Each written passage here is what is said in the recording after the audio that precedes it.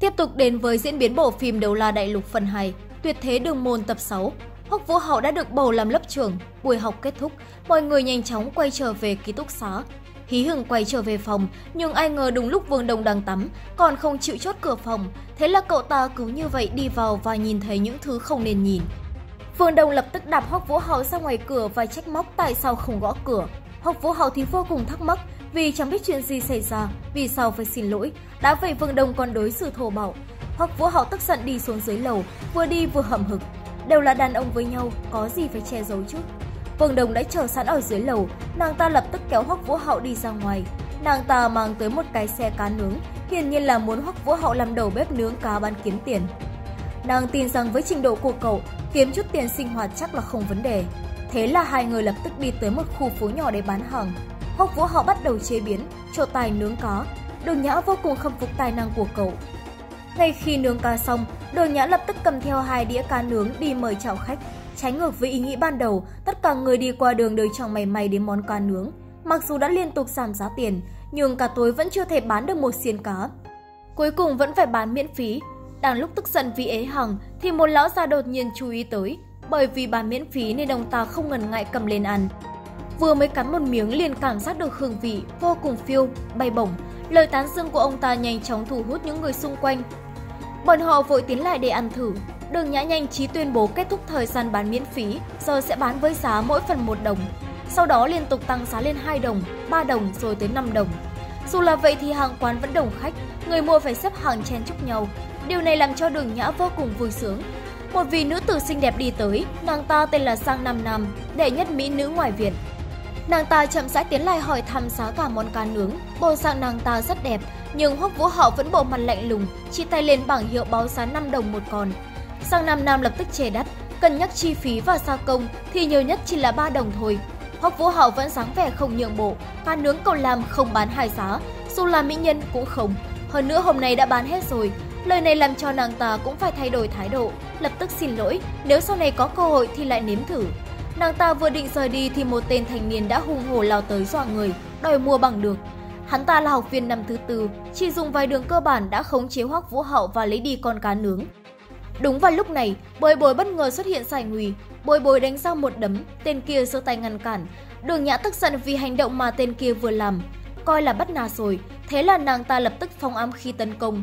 Hắn ta thản nhiên ngăn cản toàn bộ công kích, nhưng vì sự tự tin quá mức nên hắn ta đã bị lừa và bị một mũi ám khí găm vào người.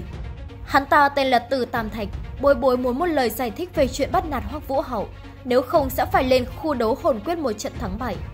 Tên kia nghe về cũng bất ngờ vì Hoắc Vũ Hậu lại là sư đệ của bối bối. Nhưng dù có như vậy thì thế nào, cậu không nể mặt sang Nam Nam, chính là không nể mặt hắn rồi. Lời này cũng đồng nghĩa rằng hắn đang mến mộ cô nàng sang Nam Nam. Đường Nhã tiến lên khiêu khích và yêu cầu không cần nói nhảm với tên kia làm gì, trực tiếp đánh cho liệt sườn luôn đi. Đúng là cô nàng nóng tính, hành động không hợp thói thường vẫn như vậy. Từ Tam Thạch đồng ý lên khu đấu hồn đánh một trận. Đường Nhã bỏ lại xe bán hàng, kéo tay Hoắc Vũ Hậu đến xem náo nhiệt. Tin tức hai người tỷ thí nhanh chóng thu hút các học viên, bọn họ đồng loạt kéo tới xem. Rất nhanh chóng, khán đài quan sát đã đông nghịt người đến theo dõi. Bồi bối và từ Tam Thạch thu hút nhiều học sinh đến quan sát là vì vũ hồn. Bồi bối nổi danh là vũ hồn công kích mạnh nhất ngoài viện, còn từ Tam Thạch thì nổi danh là vũ hồn phòng ngự mạnh nhất ngoài viện. Hai cái mạnh nhất đấu với nhau đương nhiên là hấp dẫn. Đâu ai biết rằng hai người bọn họ ở trong phòng lại tỏ rõ thái độ khác hẳn và vô cùng thân thiết. Bạn nãy bị ăn một mũi long tu châm vào người, cũng rất đau, nhưng từ Tam Thạch vẫn kháng gượng chịu đựng sau khi về đến phòng mới nhờ bồi bối lấy mũi kim châm ra. Giờ lành sắp đến, hai người cũng đi ra sân, Phương Đông cũng đến quan chiến, không ngờ mới đi tới đã nhìn thấy Hoắc Vũ Hậu. Nhìn thấy bên cạnh cầu có một mỹ nữ, Vương đầu liền bất ngờ. Hoắc Vũ Hậu giới thiệu bạn của mình cho Đường Nhã. Đường Nhã liền nhân cơ hội này dù dê Hoắc Vũ Hậu mời hắn ta đến Đường Môn. Biết nàng là người của Đường Môn, hắn cũng bất ngờ, nhưng lại nhanh chóng đồng ý gia nhập. Hắn muốn gia nhập để học tập ám khí. Vô số pháo hoa được bắn ra để chào mừng cuộc tỷ thí. Hai bức tượng khổng lồ trong sân chuyển động, không ngờ rằng bên trong bức tượng là các cơ quan, Đứng trên mũi kiếm của mỗi bức tượng là hai người sẽ tham gia tỉ thí. Cả hai đều có lượng fan đông đảo nên sau khi nhảy xuống sân liền được vô số người hò reo cổ vũ. Đây không còn là trận chiến của hai cá nhân nữa mà còn là trận chiến của những fan hâm mộ. Ngay khi lời tuyên bố cuộc tranh tài bắt đầu, hai người lập tức bộc phát vũ hồn. Vũ hồn của Từ Tam Thạch là vũ hồn biến dị, có hình dạng một con rùa, được gọi là huyền minh quy. Sở hữu hai loại thuộc tính là thủy và thổ, lực phòng ngự vô cùng mạnh. Tù vì của hắn và bối bối không quá trình lệch, đều là đỉnh cấp thù vũ hồn. Bối bối chủ động lao lên tấn công, từ tam thạch lấy ra một tấm khiên che chắn. Sau vài chiều cận chiến không làm gì được, bối bối quyết định sử dụng đến hồn kỹ thứ ba, ngừng tụ sức mạnh vào bàn tay, rồi lấy tốc độ nhanh như tia chớp lao đến tấn công. Từ tam thạch cũng không phải dạng vừa. Khả tà dễ dàng tránh né, sau đó cũng muốn xem lòng trào của bối bối sắc bén hay là hỗ thuẫn của hắn mạnh hơn. Hắn sử dụng hồn kỹ thứ nhất là huyền minh chấn, tạo ra nhiều tấm khiên che chắn. Bồi bồi dễ dàng phá tan tấm khiên đầu tiên, nhưng đến cái thứ hai thì đã bị đánh bất ngược lại. Huyền Minh Chấn vừa có hiệu quả đẩy lùi và gây choáng. Từ Tam Thạch lập tức nhân cơ hội này, lao lên tấn công bất ngờ, làm cho bối bối rơi xuống hạ phòng. Đúng lúc tên kia định tung ra đòn quyết định thắng bại, thì Hoắc Vũ Hạo đã sử dụng tinh thần lực hỗ trợ cho bối bối.